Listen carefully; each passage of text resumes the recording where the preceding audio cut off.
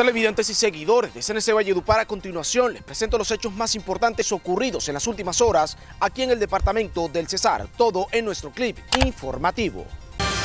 Miembros del Cuerpo Técnico de Investigación de la Fiscalía se trasladaron hasta el resguardo Iroca, jurisdicción del municipio de Codazzi, para realizar la exhumación del cadáver del adolescente de 16 años que fue asesinada a machete a manos de su compañero sentimental la madrugada de este sábado. La necropsia se realizará en la morgue de Chiriguaná.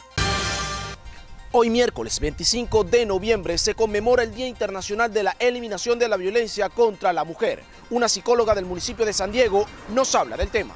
Es todo acto de violencia que tenga una afectación física, sexual y psicológica. Prosperidad Social aquí en el departamento del Cesar realizará una actividad para mañana jueves. ¿De qué se trata? Este evento lo hemos dominado Encuentro en las regiones. Allí tenemos a nuestra directora nacional, la doctora Susana Correa, cuánto es las transferencias monetarias que han llegado al departamento del Cesar y cuántas familias se han beneficiado con nuestros programas, familias en acción, jóvenes en acción, eh, proyectos productivos como Iraca, familias en su tierra. Ante el abandono del gobierno municipal de Omar Benjumea, habitantes de la vereda Guardapolvo en el municipio de Agustín Codazzi trabajan de manera rudimentaria en la única vía de acceso que comunica al casco urbano. Donde son 7.52 kilómetros, hoy en día nada más contamos con 3 kilómetros, podemos decirlo, y no están en buen estado. El director de Epidemiología y Demografía del Ministerio de Salud y Protección Social, Julián Fernández Niño, destacó la labor del Cesar en la implementación de la estrategia APRAS para contrarrestar la propagación del coronavirus en el territorio.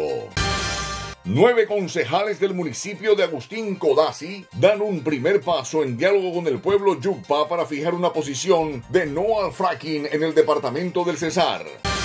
Autoridades del pueblo indígena Cancuamo denunciaron ante las autoridades nacionales, gubernamentales y judiciales la quema de la Cancurúa de los Hombres, sitio tradicional de dicha comunidad ubicada en Pontón.